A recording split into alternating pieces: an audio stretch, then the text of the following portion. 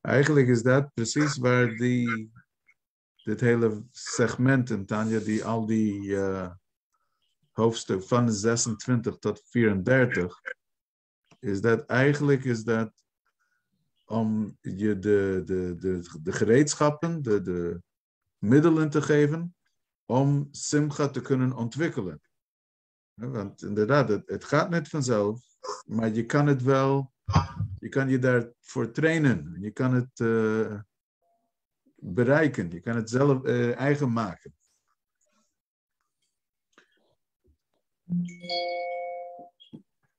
Is het niet een manier van iets zien of beleven? En, en ik heb het gevoel dat me dat soms aangereikt wordt. dat, dat, Ja, ik- dat dat is, denk ik, eh, dat is een hele Dat is, mooie. eh, dat is deel van. Het heeft, het heeft zeker te maken met hoe je naar dingen, de, de perspectief, hoe je naar dingen kijkt. En dat is wat, eh, dat, voor een groot deel is dat eh, wat eh, deze hoofdstuk, hoofdstuk eh, 33 over gaat. Maar ehm, ja, het is, is hoe, je dingen hoe je dingen waarneemt, hoe je dingen in zich opneemt en hoe je dat beleeft. Ja. Heel inspirerend hoofdstuk. We moeten nog beginnen. Maar u heeft het al gelezen. Ik heb het al gelezen. Voorbereid. Maar nu moet ik het explanation gaan laten. Heel Moet goed. Heel goed. Nou, hoofdstuk eh, 33 is inderdaad een hele bijzondere hoofdstuk. Ehm, dat zeg ik, eh, eh, ja, dat kan, dat kan je van elke hoofdstuk zeggen. Maar ehm, eh, de Lubavitcher Rebbe ehm, heeft ehm, in de zeventiger jaren heeft hij twaalf psukim, dus versen uit de Torah, en eh, gezegden van onze Chachamim, dus Psukim en Ma'amare Chazal, heeft hij uitgezocht eh, en, en, en een speciale campagne eh, gemaakt dat zelfs kleine kinderen die twaalf eh, versen of die twaalf zinnen eh, uit hun hoofd zullen kennen, eh, gewoon aan de, dat het aan hun lippen zal liggen twaalf eh, bijzondere. En dat, de, die twaalf dat bestaat uit vier van de Torah, vier van de Mishnah en vier uit Tanya. Ehm, en ja, denk aan een, een pasuk als Torah Tzivah Moshe Morasha Kehilat Yaakov, bijvoorbeeld, eh, of Shema Yisrael Hashem Elokeinu Hashem Echad. En van die vier uit de Tanya zijn twee van de vier komen uit deze hoofdstuk 33. De, de, een daarvan is van de titelblad van de Tanya. Dat is, een pasuk, het is trouwens een pasuk uit de Torah, maar eh, Tanya verwijst ernaar. Kikarov elecha davar maod beficha uvilvamchala soto. Die pasuk hebben we een paar keer gehad in deze serie. Dat de zaak, de Torah, is heel naderbij, heel dichtbij en binnen je bereik in, eh, ehm, in, in, in, in, in denken en in spreken en doen.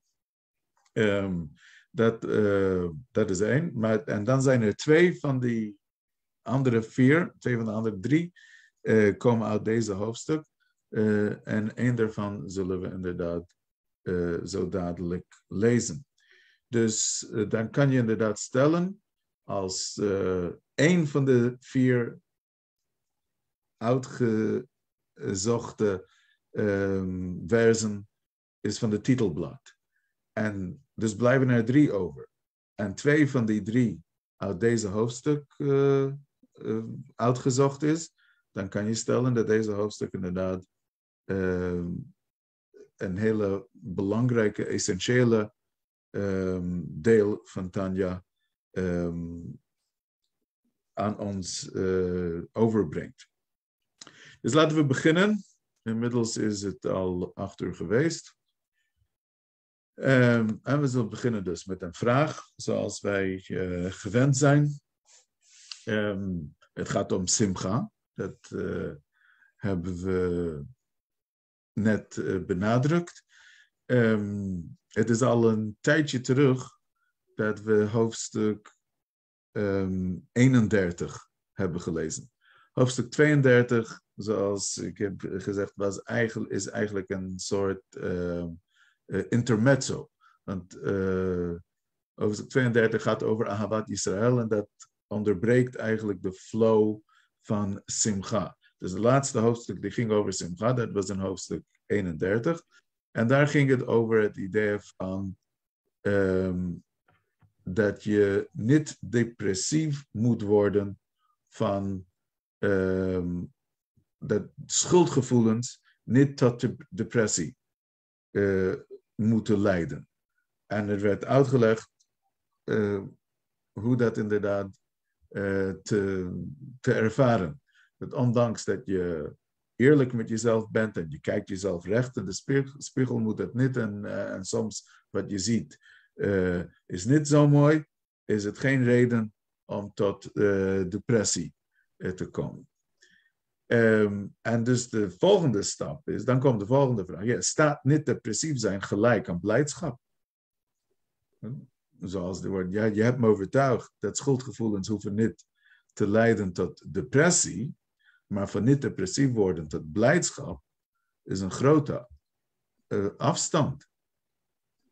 Als we, eh, als we meegaan en we zijn bereid om, eh, om de, de, de, die gedachtegang te accepteren en niet depressief te worden, maar daarmee ben je nog niet blij.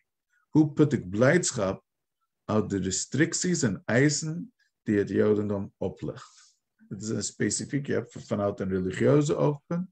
Ja, de Joodse religie is een prachtige religie, maar het is veel eisend. Ja? Het is, eh, er wordt veel van je gevraagd. Eh, en is dat nou een, eh, ehm, een, een aanleiding voor blijdschap? Nou, daar zal iedereen eh, zijn eigen antwoord op misschien hebben. Eh, maar we willen het hier hebben over eh, wat is het antwoord van Tanja hierop. Wil iemand, wil iemand iets zeggen als antwoord op die vraag? Oké, dan ehm, wat, dus wij, wij, wij gaan focussen op wat is het antwoord dat Tanja hierop geeft. Hoe kan het dat, eh, hoe kunnen wij ervaren de, de, ondanks de, de, de zware last dat het Jodendom eh, met zich meebrengt, eh, dat dat een aanleiding voor blijdschap eh, zal zijn. En mop is vaak een goede eh, manier om tot blijdschap te komen. Ja, eh, hopelijk is dat niet je, ein- je enige, eh, want dan is het erg eh, eh, oppervlakkig.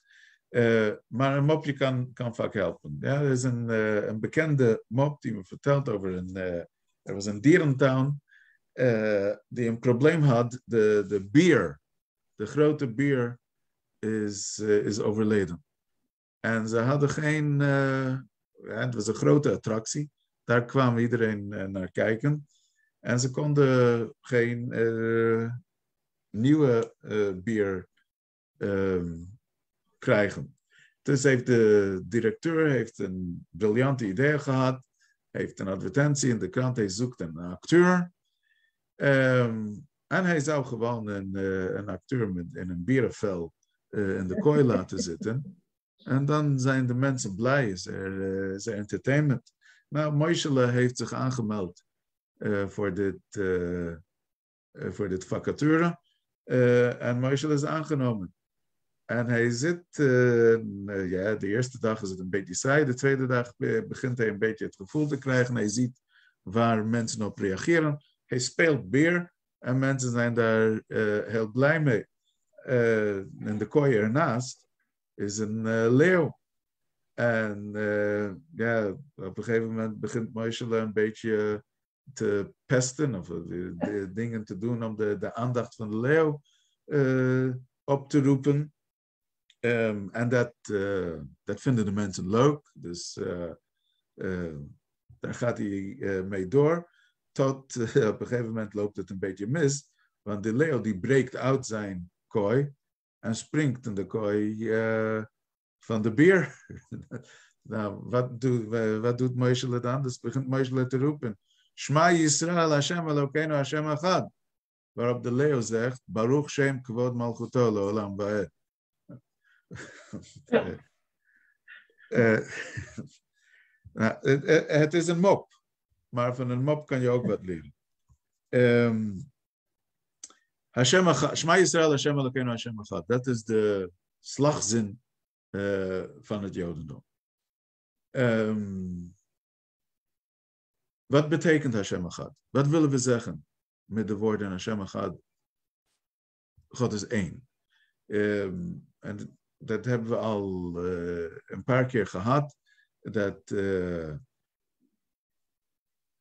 kom, het komt niet om uit te sluiten dat er geen andere goden zijn. Natuurlijk is dat zo. Hashem Echad en er zijn geen andere goden. Maar met de woorden Hashem Echad wordt veel meer dan dat gezegd. Met de woorden Hashem Echad wordt gezegd er is niks dat buiten hem bestaat. De enige echte bestaan is Hashem. En alles, hij is de schepper van alles. Kadmon lechol davar nivra. Hij uh, gaat voor alles wat er bestaat. Alles wat er bestaat is dus een, uh, uh, is bij gratie God dat het kan bestaan. Hashem heeft alles in het leven geroepen. Alles is afhankelijk van Hem in hun bestaan. Hij is afhankelijk van niemand en van niks in zijn bestaan. Zijn bestaan is een echte bestaan. En alle andere wezens zijn uh, bestaan in zijn, in zijn um, bestaan. Hij geeft. Alle wezens zijn we wezenlijk een onderdeel van zijn bestaan. Dat is de, uh, wat met Hashem gaat uh, bedoeld wordt. Dat was uh, in hoofdstuk 20 en 21 werd dit aangekaart. En zoals ik toen al gezegd heb, dat eigenlijk is deel 2 van Tanya. Shara Yichudwa Amuna gaat daar veel uitgebreider op in. Maar de kern van de zaak is dat de, schepping is iets uit het niks. Dat betekent het is niet, er is niet iets dat bestaat, dat bestond en Hashem uh, het gevormd heeft, of een, uh, heeft het dus leven, een levenskracht daarin gegeven. Het, het bestaan überhaupt van, van, de, van de materie, welke materie dan ook, dat, dat, dat ontstaan ervan is een is, is een uiting van de energie van Hashem. En het is ook de energie van Hashem die het doet blijven bestaan. Dat betekent met andere woorden dat, uh, dat wanneer wij denken um, over onze wereld, zoals wij die kennen, uh, en misschien zien we Hashem niet met onze ogen, Misschien kunnen we hem niet voelen met onze, uh, het is net tastbaar. Met onze zintuigen kunnen we het niet tastbaar ehm, voelen, maar als we erkennen dat, dat, wat, dat, de, dat de materie die we om ons heen zien, horen, voelen, ruiken, al die materie die we zien, zijn niks anders dan een uitstraling van Hashem, dan is Hashem werkelijk hier, net zoals het zou zijn voordat de, wereld ontstaan heeft. Ja? Het is niet dat uh, Hashem heeft de ruimte, ja, we, men gebruikt soms inderdaad die uitdrukking dat Hashem heeft de ruimte gecreëerd om de wereld tot stand te laten komen. Maar dat wil niet zeggen dat door die ruimte creëren is Hashem dus niet meer aanwezig. Hashem is net zo aanwezig in de schepping, nadat de schepping plaats heeft gehad, zoveel dat hij daar aanwezig was um, voordat de schepping plaatsgevonden heeft. Voordat de schepping plaatsgevonden is. Hashem, hoe Ushmo levad, er was alleen maar hij en zijn naam, zoals uh, men dat zegt. ehm, nu dat de schepping plaatsgevonden heeft, is het nog steeds zo. Hij is nog steeds overal aanwezig. Laten we even de tekst van Tanja. Oh, Voor nou, dit is het begin van hoofdstuk 33. Odzot tiyet simchat נהנפש האמיתית, ובפרט כשרואה בנפשו בעיתים מזומנים שצריך לזקקה ולהאירה בשמחת לבב, ook dit is een ware vreugde van de ziel, speciaal wanneer men op de daarvoor geschikte momenten inziet dat het nodig is zijn ziel te zuiveren en te verlichten met een vreugde van het hart. Je, moet je, je, moet het oppeppen. Het is, een beetje, het is tijd voor wat extra simcha. Dan zegt Tanja, wat, wat is een motivatie uh, om te doen? Azai yamik machshavto v'yitzair b'sichlo binato inyan yichudo yitbarach ha'amiti. Laat men dan diep nadenken en zich in gedachten en in zijn voorstellingsvermogen een beeld vormen van het begrip Hashem ware eenheid. Ja, wat is Hashem Echad. Wat betekent Hashem Echad? Dat betekent dat Ehu mimale kol almin, elyonim vetachtonim, ואפילו מלוא הארץ הלזו הוא כבודו יתברך, וכולו קמא כולו חשיב ממש. Hoe hij, met hoofdletter H, alle werelden, zowel de hogere als de lagere, doordringt, hoe hij zelfs deze wereld met zijn heerlijkheid vult en hoe alles, alles in verhouding tot hem, als het ware, niet echt bestaat. Het heeft geen zelfstandig bestaan, geen, eigen bestaan. Het is alleen maar een bestaan door de bestaansrecht dat Hashem dat geeft. En dus, behu levado, hoe בעליונים ותחתונים ממש, כמו שהיה לבדו קודם ששת ימי בראשית.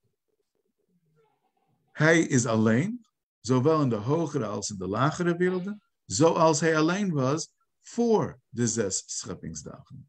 וגם במקום הזה, שנברא בו עולם הזה, השמיים והארץ בכל צבאם, היה הוא לבדו ממלא מקום הזה, ook in de ruimte waarin deze wereld, de hemel en de aarde en alles wat zich daarin bevindt, is geschapen, vulde alleen hij deze ruimte. Begam ata ken. Hu levado beli shum shinoi klal. Mipnei shekol hanivraim betelim etzlo b'metziut mamash. Zo ook nu is hij alleen, zonder welke verandering dan ook, want al wat geschapen is, is volkomen als niet bestaand bij hem vergeleken. nou, waarom is dit?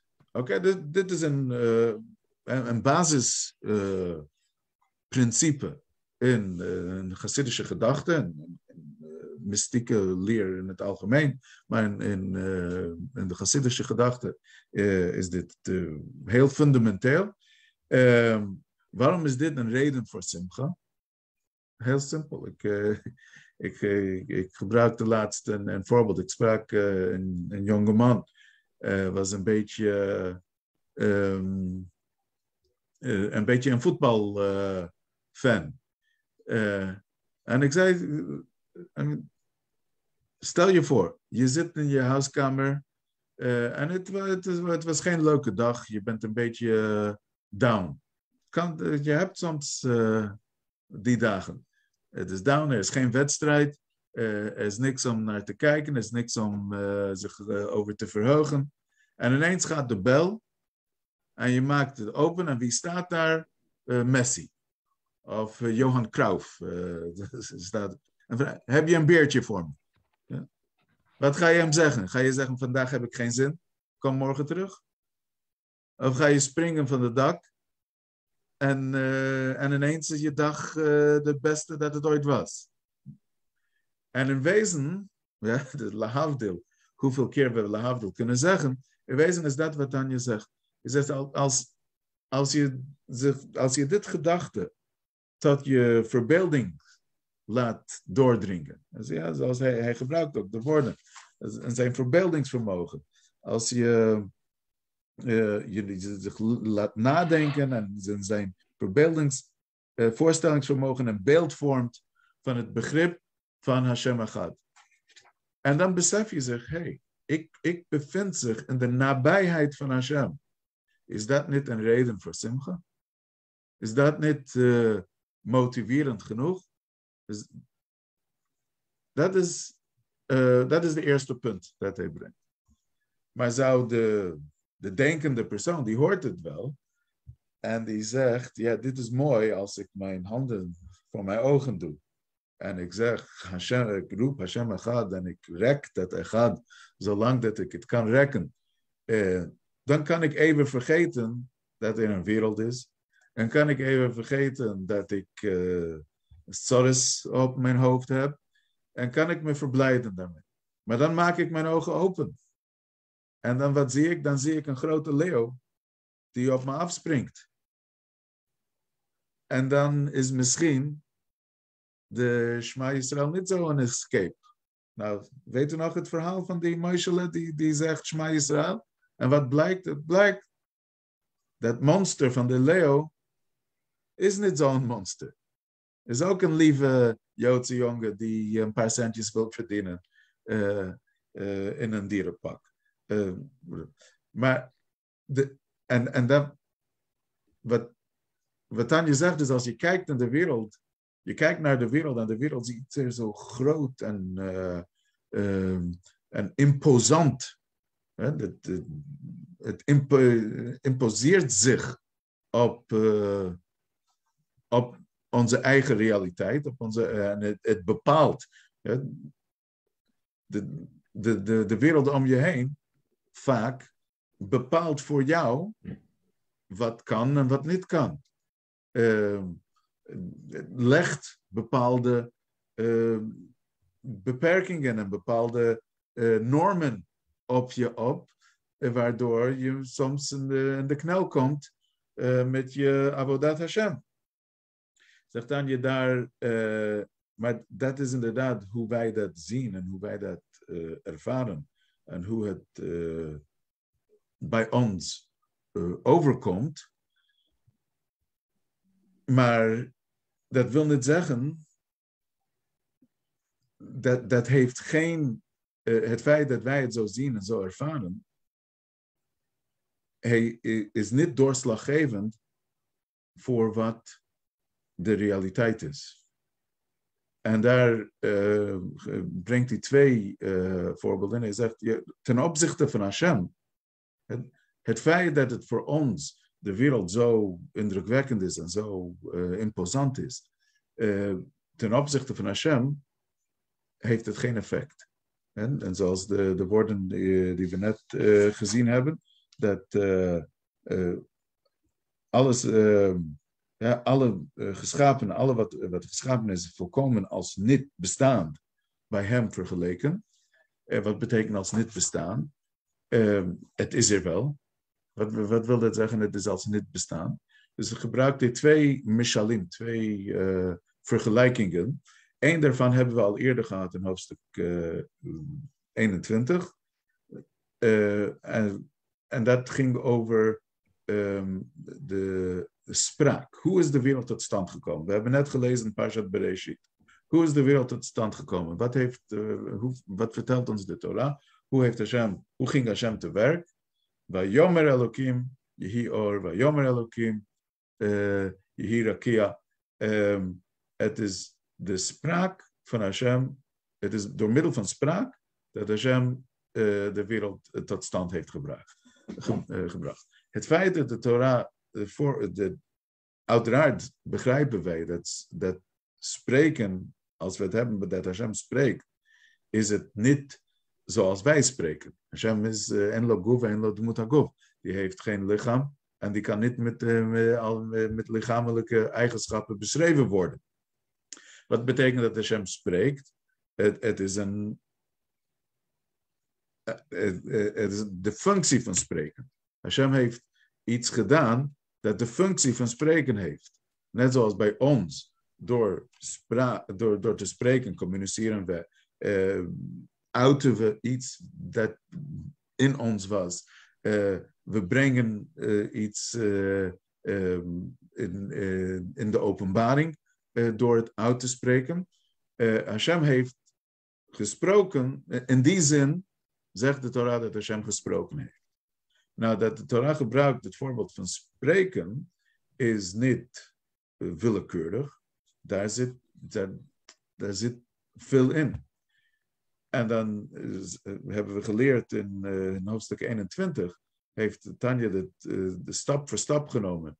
Uh, als ik een, ook al is het een hele belangrijke toespraak houd. Ja, ik, ik spreek een, niet, niet ik, maar een belangrijke persoon, een belangrijke professor, spreekt een belangrijke conferentie toe en dat is de speech van zijn leven. En daar, dat is inderdaad heel belangrijk.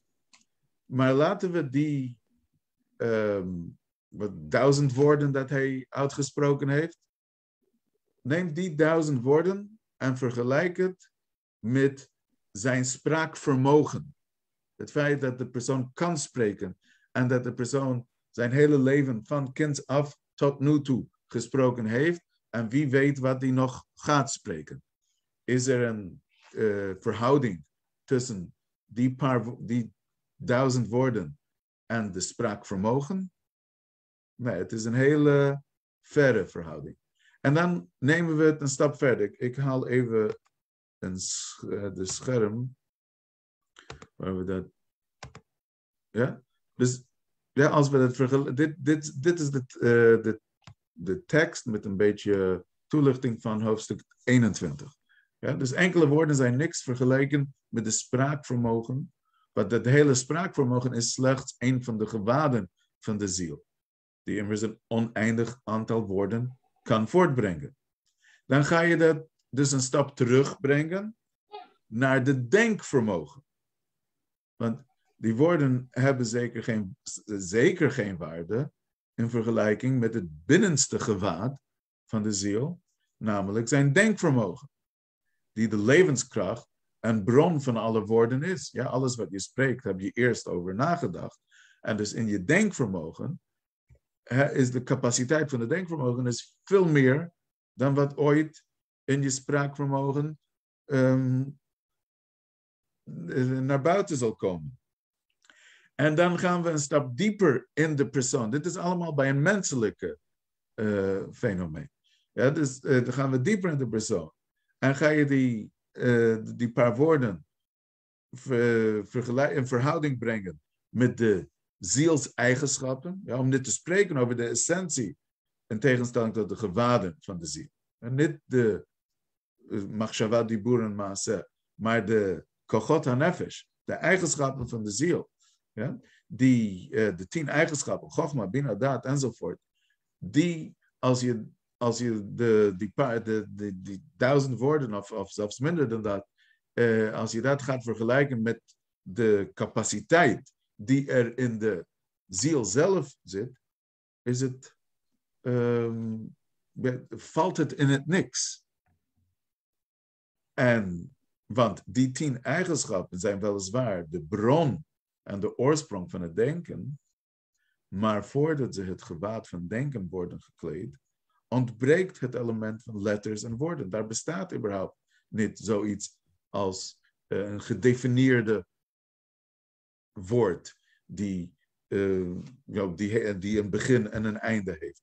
Het is een, uh, een veel meer abstracte, het is alleen in, in, in abstractie dat het daar bestaat.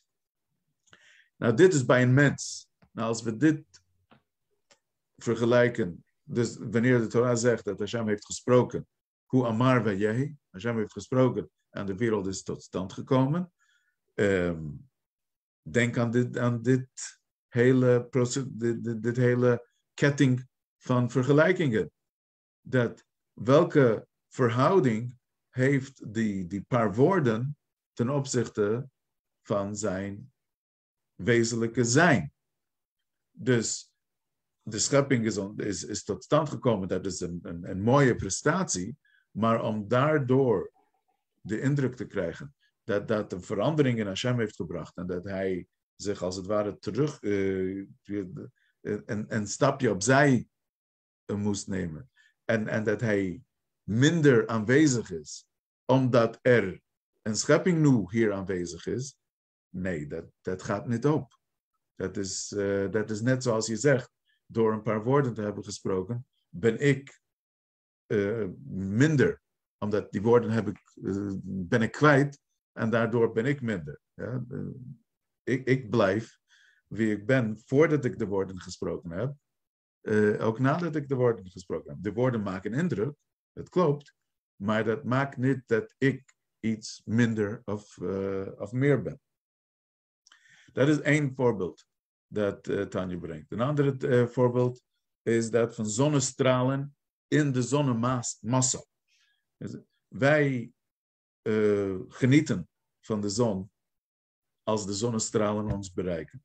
Wij, wij willen niet dicht bij de zon zijn. Want als je dicht bij de zon bent, dan ben je er niet.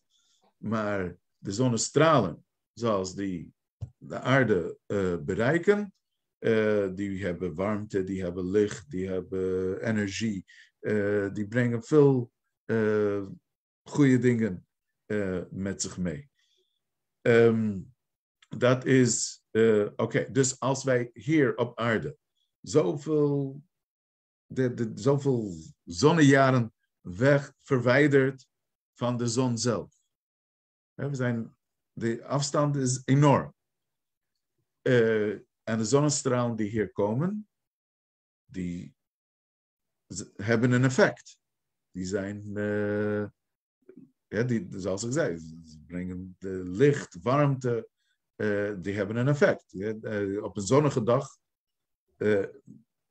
is het veel meer, veel warmer en lichter dan een dag waar de, zon, waar de zon, zonnestralen niet zo um, uh, direct kunnen komen. Nou, als we gaan, dus hoe dichter bij je komt bij de zon, hoe sterker de zonnestralen zijn. Nou, zegt hij, in zonnemassa, stel dat we zouden kunnen meten. Ja, we hebben gewoon de, de, de gereedschap niet daarvoor. Maar stel dat we in de zon zelf, in de zonnemassa, zouden proberen te meten hoe sterk de zonnestralen stralen daar zijn. Wat, wat denk je? Wat zal dat opleveren? Het zal opleveren niks. Als je de zonnemassa hebt, dan is de, zon, is, is de, de straal valt helemaal weg in, in de massa van de zon zelf.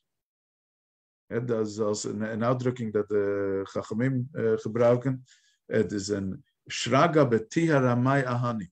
Als je een, een kaars over, je, je, je gaat iets zoeken met een kaars overdag, ben je niet goed bezig. Wat, wat voor waarde heeft een kleine vlammetje midden op de dag? Het heeft geen waarde. S'nachts, als de zon er niet is, heeft een vlammetje veel waarde. Dan kan het een, een, hele kamer uh, verlichten. Maar overdag heeft het geen waarde. En dat is dus ook de zonnestralen zijn heel uh, effectief en hebben een, een, een, een, een, en maken een, een grote indruk ver weg van de zon. En hoe verder, hoe meer uh, effectief zij zijn. Maar bij de zon zelf, daar hebben ze geen effect, dan verliezen ze een effect door de dominante aanwezigheid, door de dominantie van de zon zelf, dan werd de zonnestraal uh, valt weg in het niks. En dat dus als we de zon zien als een mashal voor Hashem en de zon, de, de stralen zien we als een mashal voor de energie dat de schepping tot stand gebracht heeft, dan kunnen we zien. Ja, dus naar, de, naar buiten toe, tussen aanhalingstekens, ja, dus naar ons, naar de schepselen, zijn die stralen zeer indrukwekkend. Dan is de energie dat de wereld tot stand uh, brengt. En dat de wereld blijft, dat de hele kosmos blijft draaien. En dat de, de seizoenen uh, gaan en de zon komt op en de zon komt, uh, gaat onder. En, en alles wat, er, wat we waarnemen in de schepping, dat maakt veel indruk op ons. Vanuit ons perspectief. Maar vanuit het perspectief van de zon is het niks. Is het, uh, is het net als de zonnestralen in de, uh, in de massa van de zon. Hashem is aanwezig. En als Hashem aanwezig is, dan maakt het geen indruk, de straling uh, op hem. Maakt het geen indruk, de stralingen die eruit komen. En dus, um, dus dat, dat besef dat Hashem aanwezig is en dat, wij hier in de nabijheid uh, van Hashem zijn, dat moet op ons uh, de effect hebben dat we daar blij van zouden worden. Um, en dan zegt Tanja nog iets, het is, um, is, dit is een pasuk die, die veel geciteerd wordt in allerlei Hasidische werken. Um, Tzadik be'emunato yichya. Het is, is, een hele interessante Gemara in uh, Mesechet Makot. Uh, de Gemara zegt dat Moshe Rabbeinu heeft ons uh, 613 mitzvot gegeven. En toen kwam David en die heeft het beknopt in 11. Ja, dat, dat, daar verwijzen ze naar Tehillim hoofdstuk 15 waar David noemt op um, 15 eigenschappen uh, die belangrijk zijn uh, voor ja, mi yagur ba'olecha, mi yishkam b'hakatchecha, holech tamim, u'poel tzedek, v'dover emet bilvabo, lo ragal al leshono ra. Zoals ze zei, dus hoofd, uh, Tehillim, uh, hoofdstuk 15. Uh, David noemt op uh, 15 eigen, uh, sorry, 11 eigenschappen die, die voorwaardelijk zijn om in de tent van Hashem te kunnen vertoeven. Dus zegt het, de Gemara, David heeft het naar beneden gebracht, naar 11. En dan zegt de Gemara verder, toen kwam Yeshayahu en die heeft het gebracht naar 6. Met een hoofdstuk 33 uh, van Yeshayahu. Uh, daar gebruikt hij hem, daar zegt Holech Tzilakot Dover Misharam Moetz Bebetza Mishkaot, Mishakot, Noer Kappa, Betocha Beshech. Hij noemt op zes eigenschappen van eerlijkheid en van, van oprechtheid. Um, dus hij heeft het nog meer naar beneden gebracht. Zo noemt het de Gemara een aantal uh, Nevi'im. En tot als laatste, dan komt Bachabakuk, we hebben dan komt Habakuk, uh, en die heeft het op één teruggebracht. En dat is tzadik be'emunato yichya. Dat de rechtvaardige, die, um, um, de rechtvaardige, die zal met zijn vertrouwen, in, zijn vertrouwen leeft hij. Met zijn emuna, be'emunato. Met zijn emuna, daar, daar put hij zijn leven uit. Dat, dus het gaat alleen om emuna. Wat betekent dit eigenlijk? Wat, wat, wil, wat is die hele uh, aftelling dat we in de Gemara uh, vinden? Um, dus, uh, dus Rashi, bijvoorbeeld, die geeft een, uh, die zegt, ja inderdaad, in de, in de eerste generaties waren mensen in staat om alle mitzvahs te doen. Maar in de latere generaties zijn mensen niet in staat om alle mitzvahs te doen. Dus heeft iedere uh, profeet voor zijn tijd heeft hij uitgezocht wel, welke zijn de belangrijkste mitzvahs uh, om op te focussen. Dat is zo verklaart Rashi deze aftelling. Maar andere commentatoren die zeggen natuurlijk, nee, de mitzvahs die blijven voor altijd. De mitzvahs zijn niet aan tijd, die zijn niet alleen geldig op bepaalde tijdsgeest. Het is niet gebonden aan de tijdsgeest. De mitzvahs zijn voor altijd.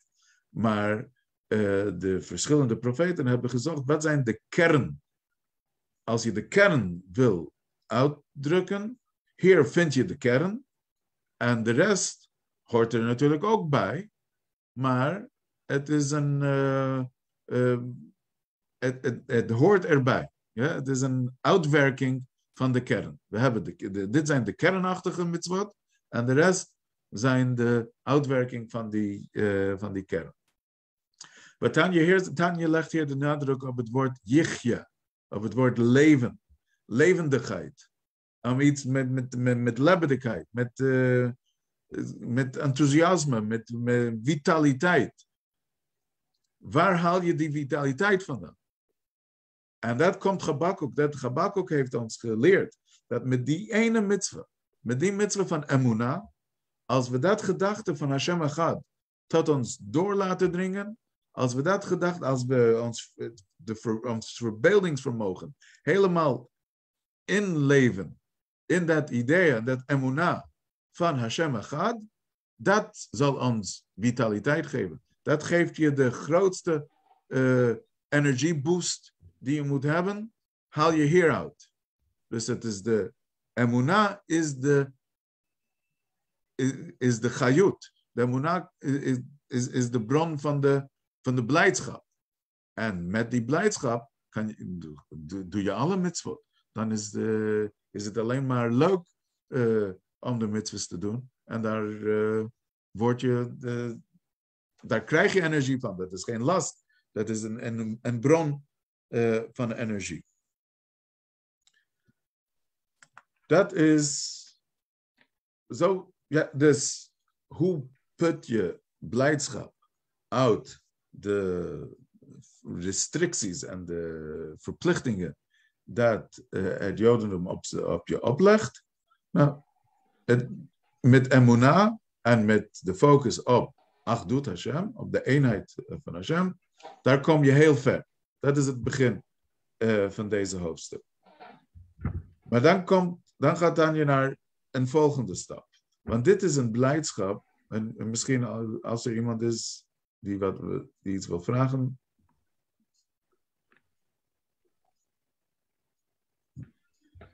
Dan gaan we verder. Ehm, eh, dit is een blijdschap dat erg, ja, erg op zichzelf gericht is. Je zou bijna kunnen zeggen, ja, ik heb net eh, ik heb dat voorbeeld gebracht, ja, als eh, een grote held bij mij op bezoek komt, ja, dan, dan ben ik blij omdat hij bij mij gekomen is. Ja? Dus het is, het is mijn, het is een beetje egoïstisch, het is een beetje op zichzelf eh, gericht. Maar dan zegt Tanja, er is ook een andere element, een ander aspect hierbij. En dat is, eh, eh, ja, ouders kunnen zelf blijdschap ervaren wanneer ze zien dat hun kinderen blij zijn. Ook al hebben zij daar geen deel van. Als je ziet dat het, eh, als je van iemand houdt, echt, als je echt van iemand houdt en je ziet dat het goed gaat met deze persoon, dan word je daar zelf ook blij van. Ook heb je daar niet iets van. Het is niet, ja, je gaat naar, naar een feest, eh, naar een huwelijk. Ja, dus het is een blijdschap van iemand anders. Die gaat trouwen, die is blij. Ik kom mee vieren, ja, ik kom mee vieren, maar ondertussen eet ik en ik drink en ik, eh, ik heb daar, ik geniet ervan, dus is, ja, word je daar blij van. Maar dat, dus dat is een beetje een verwaterde eh, blijdschap. Maar eh, er is ook, zoals ik zei, als je echt van iemand houdt, ook al heb je daar zelf niks aan, je bent niet uitgenodigd om mee te vieren, je wordt, je, wordt, eh, er wordt niet getrakteerd, je krijgt geen taartje of eh, glaasje wijn eh, om, om mee te vieren, maar toch, het is een, je, bent blij met de blijdschap van een ander. Nou, zegt, eh, zegt Tanja dat eigenlijk is als wij zich ervan bewust zijn dat wat wij doen hier in een omgeving, in een, eh, eh, atmosfere waar goddelijkheid niet vanzelfsprekend is. Ja, de, de schepping is ontstaan door dat eh, goddelijkheid niet dominant is, zich niet eh, manifesteert. Er is goddelijkheid niet vanzelfsprekend is. En door onze mitzvot, door mitzvot uit te voeren, breng je kiddusha, breng je heiligheid, breng je uh, goddelijkheid in deze omgeving, in deze atmosfeer. Dat is, um, dat is iets. Uh, uh, dat wekt op blijdschap. Misschien niet voor ons direct, maar wel voor Hashem. Het is een blijdschap, het is een, ja, zoals Gazal zeggen, het is een nachat ruach. De, als de Torah spreekt over korbanot, over de, de offers, dan zegt de, gebruikt de Torah altijd de uitdrukking reach nechoach la Hashem. Het is een, uh, uh, de letterlijke vertaling is, het is een, een geur, een aangename geur voor Hashem. Maar de Chachamim zeggen, wat betekent nichoach? Nichoach kan je vertalen als uh, aangenaam, maar nichoach kan je ook, is ook verwant met het woord nachat. En dat betekent, het is, uh, ik heb er voldoening aan, aan het feit dat jullie mijn opdracht uitvoeren. Het is een nachat ruach lefanai, she'amarti v'na'aseret zoni. Het is een, een genoegen, het is een voldoening voor mij wanneer ik zie dat mijn opdrachten uitgevoerd worden. Dus uh, het is een, Hashem wordt er blij van. Waarom? Is een andere discussie. In de, in de, volgende hoofdstukken, in de volgende hoofdstukken in ieder geval, zal Tanja daar uh, op terugkomen. Waarom het een, waarom Hashem er, er blij van wordt. Maar als wij het tot ons laten doordringen, als wij ervan bewust zijn dat Hashem blij wordt van onze mitzvah, dan is dat ook weer een reden voor ons om blij te worden. Net zoals ouders blij zijn wanneer hun kinderen blij zijn, is niet alleen de blijdschap van de kennis van het feit dat, dat wij in de nabijheid van Hashem zijn, maar ook van de kennis dat Hashem, dat wij Hashem verblijden door onze mitzvot, dat is ook een reden voor zichzelf, dat wij blij van zouden moeten worden. Ik haal even de tekst van Tanja tevoren. Wehi simcha kfula umechupelet. Dit, is nu, dit nu is een dubbele en driedubbele vrucht. Kimilvat simchat ha-nefesh ha-maskelet, bikirvat Hashem v'dirato ito imo want apart van de vreugde van de ziel, wanneer deze aanvoelt hoe God dichtbij is en hoe hij bij hem woont, hm, odzot yismach bekiflaim besimchat Hashem vegodel nachat ruach lefanav yitbarach beemunazu. Kan hij zich ook dubbel verhogen over de blijdschap en de enorme voldoening die zijn geloof en vertrouwen in, in God hem geeft. De itkafia sitra achra mamash Want daardoor, door, door het geloof zelf, door het feit dat een mens van vlees en bloed erkent de goddelijke waarheid, aan de goddelijke eenheid, daar is dat zelf, daardoor wordt de Sitra Achra werkelijk onderdrukt, wordt duisternis veranderd in het licht. De Sitra Achra, de andere kant, die probeert te verbergen het goddelijke bestaan. En wanneer de mens van vlees en bloed goddelijkheid erkent, daarmee heeft hij gebroken de Sitra Achra. En dat is een reden voor blijdschap. De een simcha Navid Barach, ke ora simcha, Bejitron or habam min dafka. Er is geen grotere vreugde voor hem, gezegend is hij, dan het licht en de vreugde van het nog meer bijzondere licht, omdat het uit de duisternis komt. Juist wanneer het licht uit de, duist, ja, uit de duisternis komt, dat brengt meer licht, uh, blijdschap. Zoals Tanja elder, elder zegt, het is, um, het is de, de Maggid van Mezritch is de bron ervan. Die zegt, stel er is een koning, ja, vroeger had, uh, was, als de koning uh, depressief werd, dan had je, er was de naar, de, de, de, naar van, de, van, het hof, die moest wat geintjes voor hem uithalen. Er waren allerlei trucjes, of in, in Tanach lezen we over hoe David Amelech of Shaul HaMelech, en als, die, als hij depressief werd, dus heeft David muziek gemaakt. David was toen nog als een jongen, heeft muziek gemaakt om de koning blij te maken. Je hebt allerlei methodes om de koning blij te krijgen. En, dan zegt, en soms heb je, dan brengen ze een papegaai. Dan breng, je een papegaai binnen, dus de, de, de, de, de naar, die heeft al, al zijn grapjes al uh, uitgehaald en dat heeft niet gewerkt, dan komt de papegaai. En wat, de, wat zegt de papegaai? De, de papegaai zegt hallo. Hm? Niet, niks meer dan dat. Maar daar wordt de, de, koning blij van. Waarom wordt hij zo blij van, uh, van wat de papegaai zegt en niet van, uh, van de wijze woorden van de wijze mensen of van de goede grapjes van, de, van de cabaretiers? Nee, omdat wat maakt, wat brengt de lach? Dat is iets onverwacht. Het is iets, uh, iets, iets ongewoons, iets, iets vernieuwend. Iets, wat is een goede grap?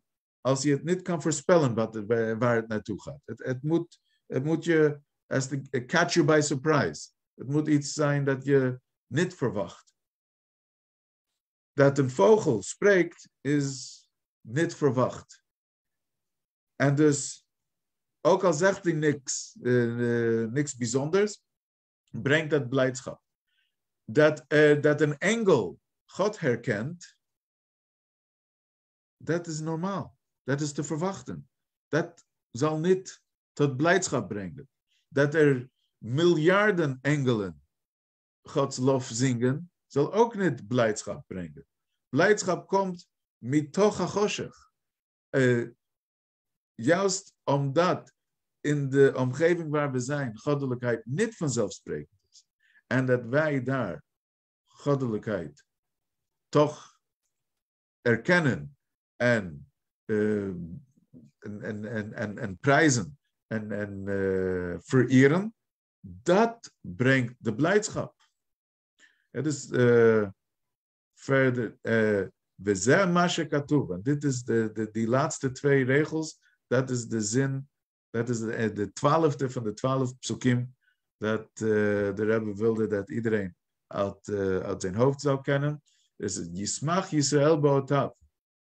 Dit is de betekenis wat er geschreven is in Tehillim 149. Staat, laat Israël zich verheugen in zijn maker. Dat Israël, de Joodse mensen zijn blij. Waar, waar ben je blij mee? Blij met, je, met, je, met Hashem. Wat is dat? Dat wil zeggen, Pirush, שכל מי שהוא מזרע ישראל, יש לו לשמוח בשמחת השם, אשר שש ושמח בדירתו בתחתונים. Dat wil zeggen, dat ieder die van Israëls afstamming is, zich hoort te verheugen in de vreugde van God, die blij en verheugd is met zijn woning tussen de schepselen in de lagere werelden. Dat wij hier een omgeving maken hier in de lagere werelden. Dat, dat bedoelt, met de lagere werelden bedoelt, bedoelt hij ons. Dat wij hier een, uh, een, uh, een omgeving creëren waar Hashem zich thuis kan voelen. Dat is een bron van blijdschap voor Hashem. Dat maakt Hashem blij. En als wij daarvan bewust zijn, moet dat ook ons tot blijdschap brengen. Dus in hoofdstuk 33 komen er dus twee motivaties om tot, een blijdschap te ervaren. Uh, punt 1, dat, uh, dat, dat besef en zich in te leven, in de bewustzijn dat je in de nabij, nabijheid van Hashem bent, dat is een reden voor simcha. En als dat niet genoeg is, dan sta, denk erover na, laat het tot je doordringen door de mitzvahs dat je doet. Maak je Hashem blij, is dat niet een reden voor je om blij, uh, ben je niet blij dat, dat Hashem blij is? Is dat niet een, een, reden om uh, zichzelf, uh, om zelf blij van te worden? Dus dat is zo antwoord, Tanja. Dus hoe die, die, die last van het Jodendom toch een bron van blijdschap zijn? Het is niet alleen, niet alleen één bron van blijdschap, het is een dubbele en een driedubbele bron van blijdschap.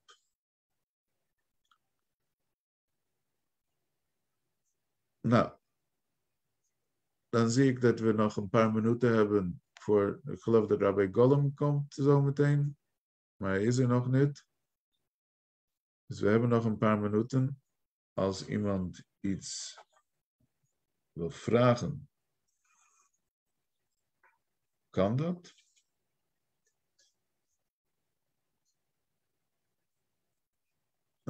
Is het ook um, kunnen we ook. Nou, u, u, zei het begin, het, het, Joodse geloof is moeilijk, ja? Het is veel eisen. Veel eisen. Maar denkt u niet, andere geloven die zich echt aan het geloof houden, laten we zeggen in, in, in Putten, Nijkerk en Stappos, noem maar op, dat die het net zo moeilijk hebben? Ja. Ja, ik weet het, ik ben daar nooit geweest. Ik weet het ook niet hoor, maar die, die hebben ook hun, uh, hun ja. regels. Uh, ja, het zou kunnen.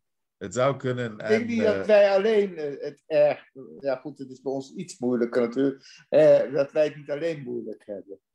Hm? Het zou kunnen, maar het is, het, het, het is ook um, veel, laat ik het zo zeggen, veel van de. Um, veel van de eisen van, de, van Jiddischkeit ja. zijn eigenlijk tegen de natuur. Dat is, het is waar. niet. Ja, het is niet. Kijk, dat, dat, iedere maatschappij heeft altijd, er zijn altijd wetten, er zijn altijd regels. En mensen die moeilijk, moe, moeite hebben met regels, zullen overal uh, moeilijkheden uh, treffen. En, en, mensen die zich aanpassen, dan passen ze gewoon aan. Maar wat, wat, wat Jiddischkeit van ons vraagt, is vaak tegendraads. Ja? Neem een voorbeeld van Sukkot. We hebben net Sukkot gevoerd. Ja. Zit je Ga je zoeken Kan je dat niet in de lente doen? Is, is ja. het zo Het moeilijk? was toevallig dit jaar mooi weer, maar meestal regent het. Ja. Ja. En, en het is met opzet zo, ja? want het, Eh, het is tegendraads. Pesach ook, eh, het hele huis eh, Ja, enzovoorts. Het ja, maar het is natuurlijk wel zo. het is tegendraads. En maar het is wel mooi. om- ja, absoluut. absoluut. Tenminste, persoonlijk vind ik dat. Ja. En, en, maar, en, en, en dit is de reden om, om, om te doorbreken. Omdat wij als, als, als schepselen in de natuur zijn we geboren met een bepaalde patroon. En wat Jiddischkeit ons wil eh, meebrengen, is om die patroon te doorbreken. Om de goddelijkheid, om dat niet in de schepping te vinden is. Je moet, je moet de, eh, de, de schepping overstijgen om de goddelijkheid in de schepping te kunnen zien. En dus door tegendraads te gaan, krijg je de kans eh, om die, de, dat perspectief van boven te krijgen.